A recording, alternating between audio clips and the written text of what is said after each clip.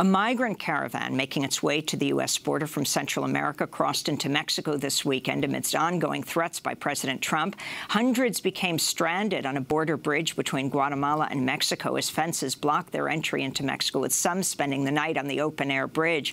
Many eventually resorted to swimming or crossing the river in makeshift rafts, although reports of clashes with Mexican forces at the Guatemala-Mexico border emerged over the weekend. The caravan's estimated to have topped 7,000 people as a continues to make its way north. This is Honduran migrant Mario.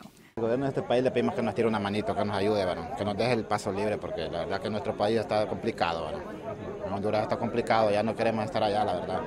Sí, ya, ya la pobreza ya y todo está complicado. Bueno. Tenemos hijos allá en Honduras también que mantener y no hay trabajo. President Trump has repeatedly threatened to cancel a pending trade agreement with Mexico and send U.S. military troops to the southern border of the United States with Mexico unless the caravan turns around.